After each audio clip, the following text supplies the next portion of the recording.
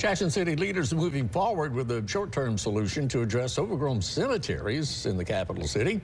The Jackson City Council voted 4 to 1 to allow PDT Logistics to maintain cemeteries across the city until September.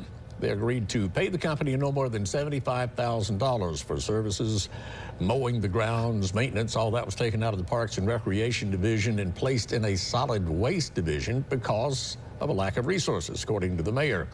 The city's nearing the end of budget season, which Mayor Chokwe Antar says is why they don't have a contract up for bid quite yet. It's a it's a professional service, right? Professional services are not bid out, right? Uh, these are companies that that she she in her work uh, with grass cutting and working with companies reached out to the companies she thought had the ability to do it. And and cutting cemetery is is is a more difficult uh, undertaking than just cutting uh, right of ways.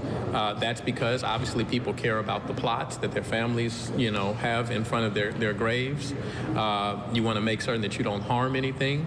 Uh, you can't just run through with a zero turn uh, in a cemetery, and so it requires a certain level of professional effort to do it correctly.